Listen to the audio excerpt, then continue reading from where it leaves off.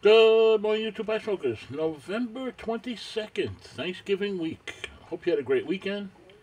Hope you have a wonderful week. Hope you have a great Thanksgiving. If some of you head out and you don't catch the morning video, I appreciate those that watch and comment. I don't always comment back, but I appreciate it. Thank you. What you think, you become.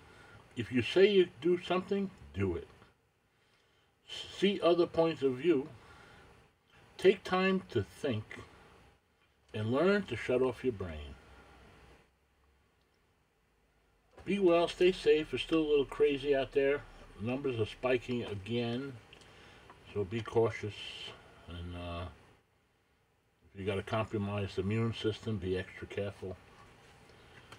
Get you some therapeutics, the vitamins, the magnesium, up with that. Vitamin C, of course. Be well, stay safe, and thank you.